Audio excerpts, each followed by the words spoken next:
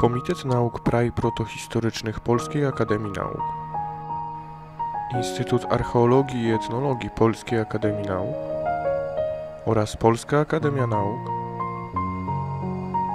zapraszają na film z serii Wywiady z profesorami archeologii.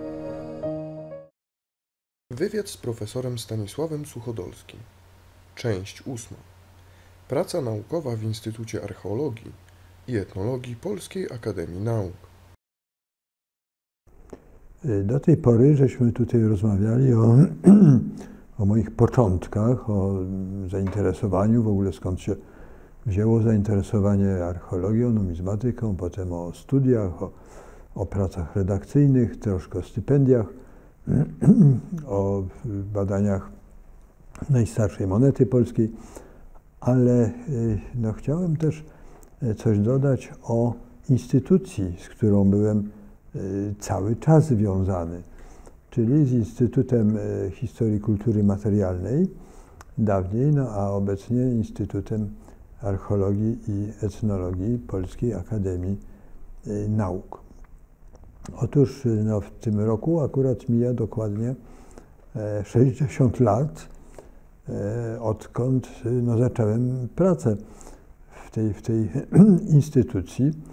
Potem 49 lat czynnie byłem z nią związany, no a przez ostatnich 11 biernie, ale też tutaj jeszcze przychodzę. Jestem członkiem Rady Naukowej, Komitetu Nauk. Tutaj doktoranci moi przychodzą, no i nadal czuję się bardzo związany z Instytutem. No i z tym Instytutem dzieliłem dole, dole i niedole, więc pamiętam, że na początku, kiedy, kiedy właśnie nastałem, Instytut mieścił się w Pałacu Staszyca. No i tam na drugim piętrze, w pokoju 216, mieściła się między innymi właśnie ekspedycja czerska. No i z tym pałacem, w tym no, były te prace archeologiczne, ale też i swoje numizmatyczne już wtedy prowadziłem. No i tak najbardziej mi się ten Pałac Staszyca łączy z obroną pracy doktorskiej. W sali okrągłego stołu na pierwszym piętrze, tam się odbywały obrony, no i między innymi też właśnie w 1961 roku była obrona mojej pracy.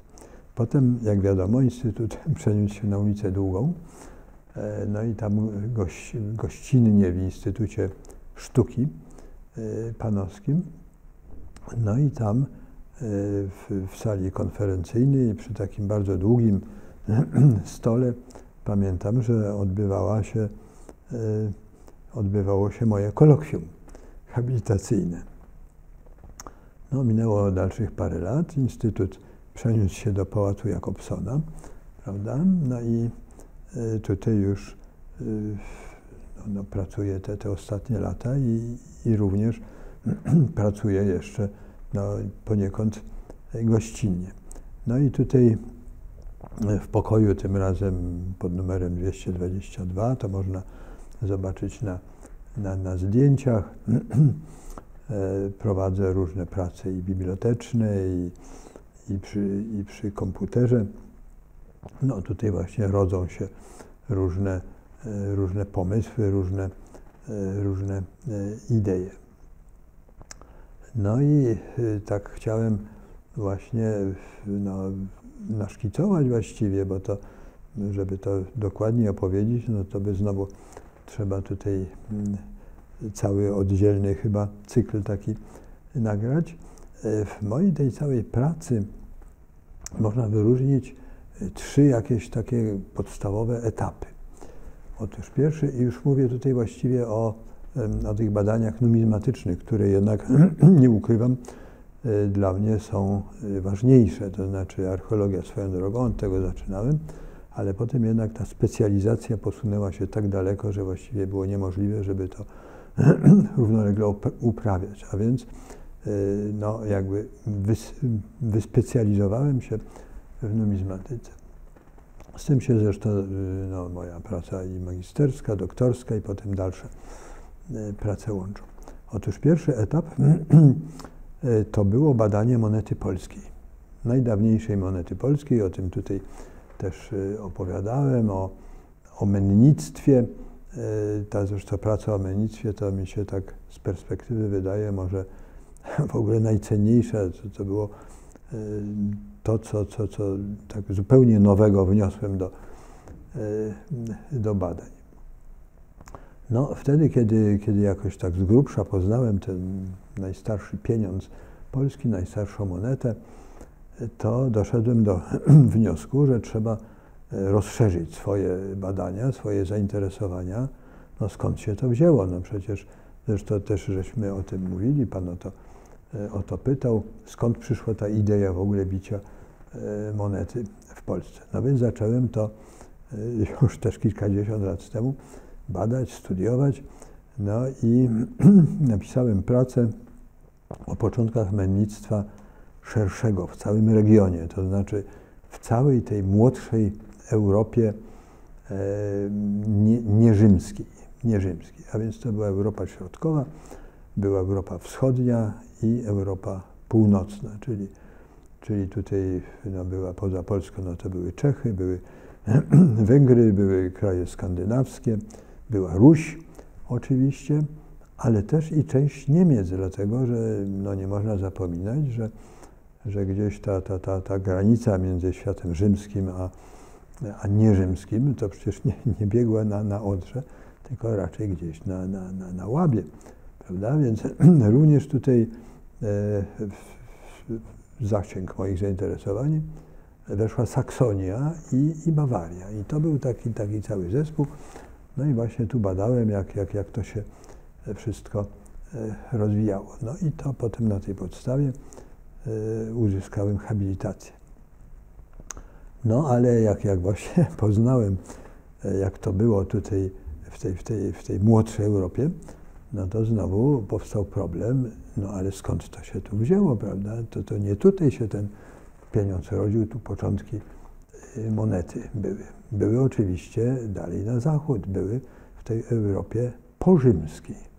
porzymskiej. No i stąd zainteresowanie no już nie całą monetą rzymską, bo to, to jest zupełnie inny świat, to bym tutaj musiał całe życie na to poświęcić, ale schyłek epoki rzymskiej, od IV wieku mniej więcej, kiedy się imperium zaczęło rozkładać, kiedy tutaj w, przy, przy jego granicach, a częściowo i w granicach pojawili się tak zwani barbarzyńcy, pojawili się Germanowie, różnego rodzaju plemiona, Ostrogoci, Wizygoci, E, potem, potem Merowingowie, Karolingowie i tak dalej.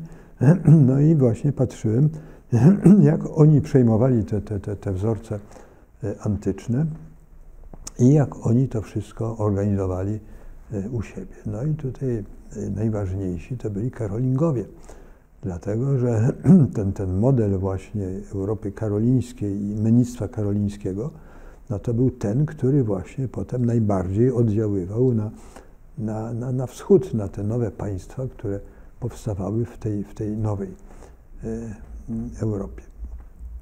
Także to był, e, to był ten, ten, ten, ten trzeci etap. No i e, napisałem pracę i no, ona była podstawą znowu uzyskania tytułu profesora. No i znowu był dalszy problem, co, czym się dalej zajmować. No już nie chciałem całego życia poświęcić tym Karolingom i, i Merowingom. To był jakiś taki epizod. A więc mogłem e, no, jeszcze dalej rozszerzać tam, nie wiem, na, na, na Azję czy, czy, czy, czy, czy Afrykę, albo starożytność bardziej drążyć. To mnie specjalnie nie interesowało. E, no i wróciłem znowu do Polski ale wróciłem do Polski bogatszy w te wszystkie doświadczenia, czyli to była tak jakby po spirali. Wracam do tych początków, ale już znacznie mądrzejszy i tutaj znowu dalej mogłem to, e, to, to, to pogłębiać i stąd właśnie te, te badania e, dalsze, o których tutaj Panu już też mówiłem, e, te, te, te z początkami mennictwa polskiego, ta cała historia z Mieszkiem I, czy pierwszy, czy, czy, czy, drugi. Czyli tak ujmując jakoś e, bardziej statystycznie, to mogę powiedzieć, że moje zainteresowania e, to się wahały tak od IV wieku gdzieś do wieku XIV, czyli tak w obrębie tysiąca, e, tysiąca lat. No a jeżeli chodzi geograficznie, no to właściwie cała, cała tutaj Europa, ale bez, bez już głębokiej starożytności, od schyłku starożytności. No i właśnie te, te, te, te, te, te prace e, wszystkie, no one tutaj też i e, no, były podstawą no, no, różnych moich e, sukcesów życiowych. Opowiadałem tutaj poprzednio o, o stypendiach, o, o kongresach, no ale były też i wyjazdy indywidualne. Byłem zapraszany, byłem, jestem zapraszany do, do, do, do Niemiec, na, na, na Węgry, do, do, do Czech najwięcej na jakieś takie indywidualne spotkania, między innymi właśnie w Pradze. Kilkakrotnie bywałem tam w, w Towarzystwie Numizmatycznym, w Muzeum Narodowym też kilka, przez kilka lat miewałem indywidualne odczyty.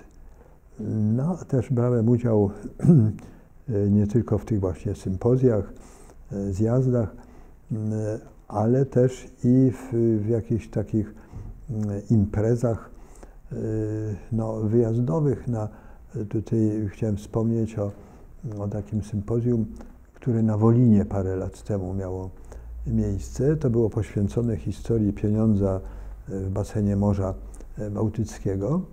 No ale jakie było e, nasze zdziwienie, kiedy się okazało, że, że, że ten Wolin, on cały w ogóle żyje historią. Żyje historią i że, że w lecie, wtedy kiedy też i się ta nasza impreza odbywała, że tam e, co roku e, ma miejsce taki festiwal wikingów. To jest bardzo barwne. Tam przyjeżdżają ci wikingowie z Niemiec, z Rosji, ze Skandynawii oczywiście i taki pochód przez, przez miasto idzie, do którego mogą się tam dołączać i, i różni ludzie. No i między innymi właśnie ja też w takim pochodzie tam brałem udział, co jest zadokumentowane i można na zdjęciu e, e, zobaczyć.